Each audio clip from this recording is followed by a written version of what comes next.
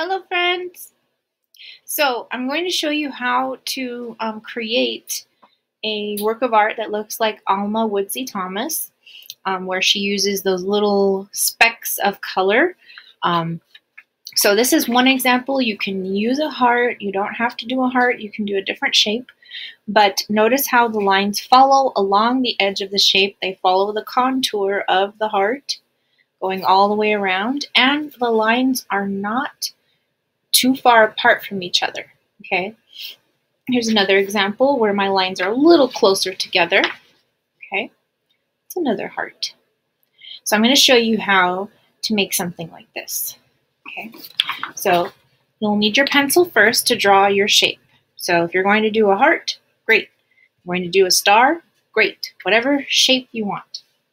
You can also do the Alma Thomas um, method where you do you can do some straight lines going across, right? And then you'll fill each of those with some color in the same way. But I'm going to do the shape first. So, um, if you need help making a heart, um, you can do it how you want. But if you don't know how to make a heart and you want to make a heart, you can watch this little trick I do. I make a little dot on my paper first, okay? Not too big, just a little one so I can see it. And then I make a rainbow shape for one side of the heart. And then from, the, from that point, I go around again. Okay, so now it kind of looks like a bird flying or a round M. Okay, then what you're going to do is take both of these ends and bring them to a point. So it's kind of like you're doing a triangle on the bottom. Okay? If it helps you, you can look at this little dot and then kind of pretend to draw a line. Don't really draw a line.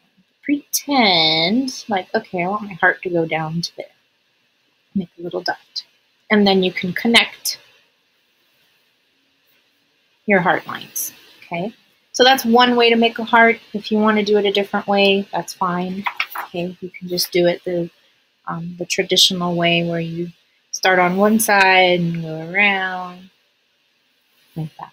Okay, so however you want to do your heart, and you can do any kind of heart or any kind of shape you'd like. Okay, so great. Now I'm done with my pencil. I don't need your pencil. Thank you. so now I'm going to use paint. Okay, let me show you how you're going to paint. Okay, so I'm going to take my paper and put it to the side just for a second.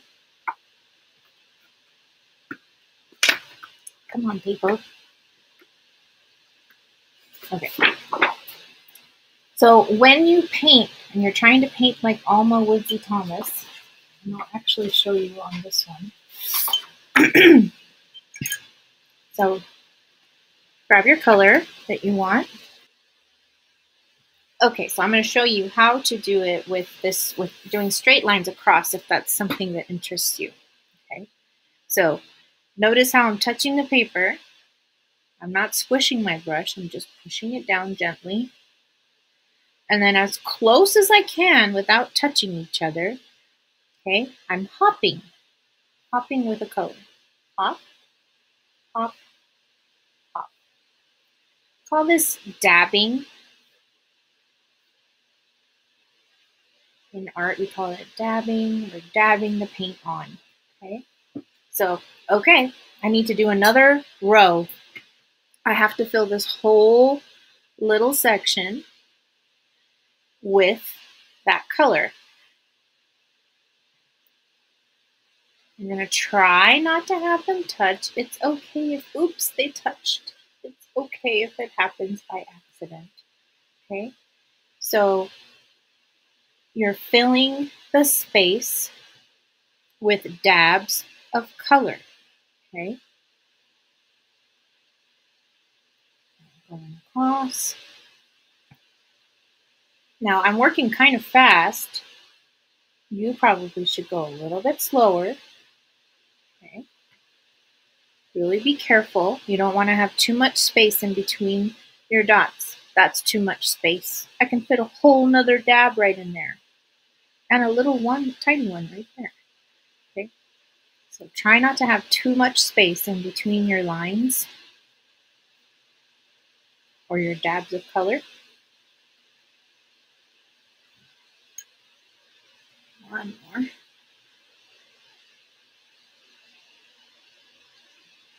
Okay. So maybe this is a bed of violets, violet flowers. They kind of look bluish.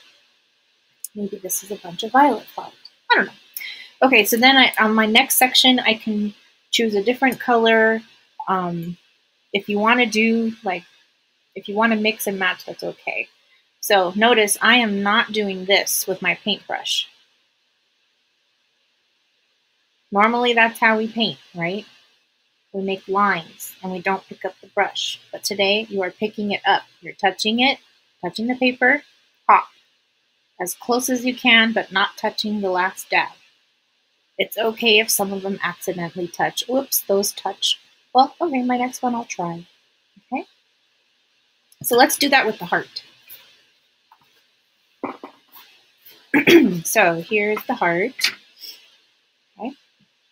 If you'd like to color in the heart with one color, that's fine. Or if you want to do the dabbing, that's fine too. Okay. So let's see. I'll start with red. And I'm going to follow the contour of the heart all the way around with the same color.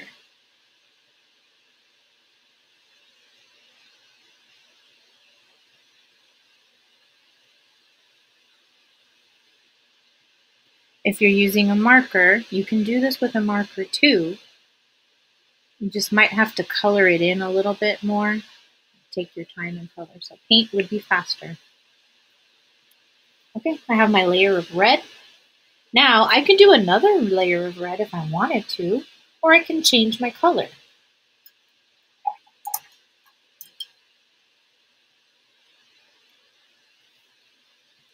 Orange.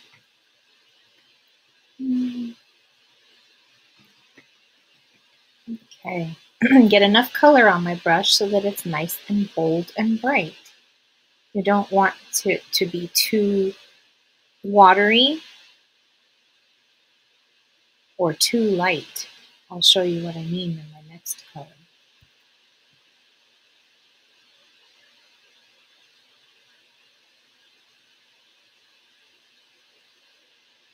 Okay, so my next color,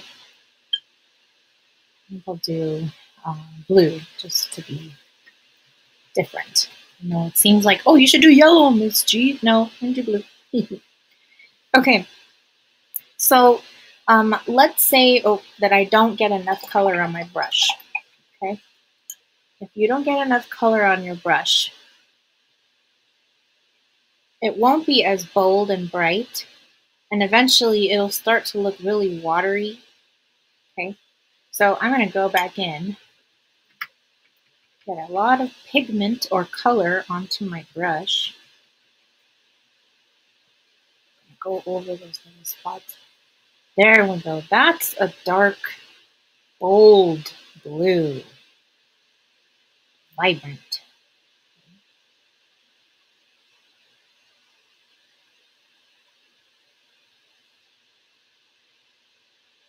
And I always try to use the materials that you guys have, and so this brush is not very good. It's like really yucky. But I'm making some wonderful art with it. okay. Okay, I just keep going. So, new color. Hmm.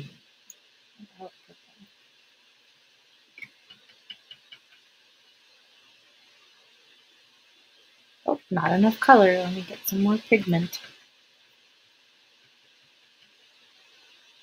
There we go, that's a little better.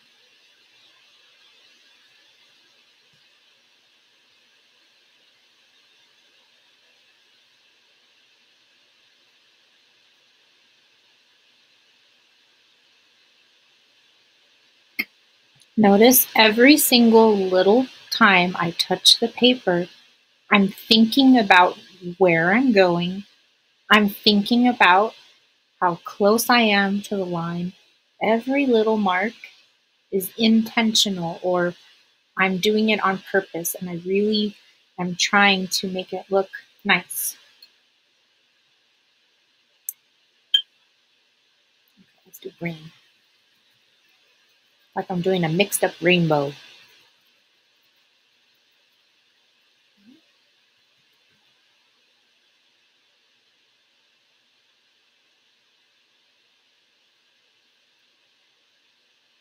Oops, that one touched the purple a little bit. That's okay.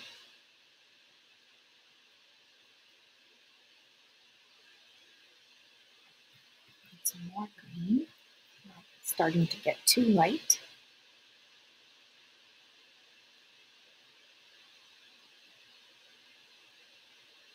Dab, dab, dab, dab, dab.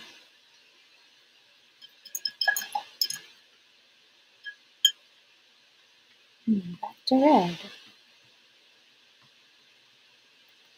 I think I'm going to do the inside of the heart with some red dots.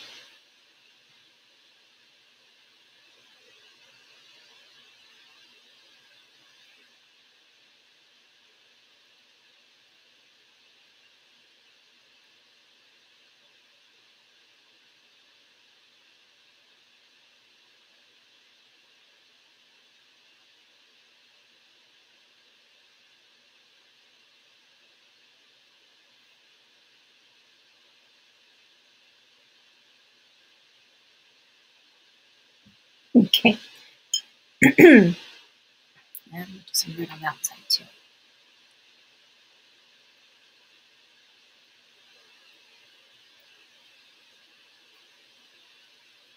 So you should try to fill your whole page with color.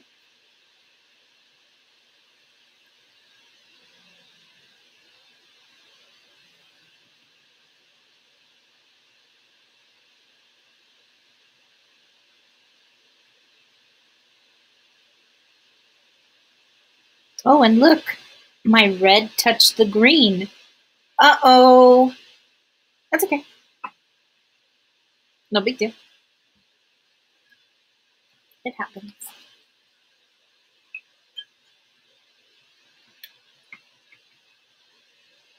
Okay, so I think you get the idea. Okay. The whole paper to be filled with little dabs of color, following the contour of the shape that you drew. And if you did the lines, you're following the contour of the lines, or just how the lines are going. I really like that orange. I'm to add another orange.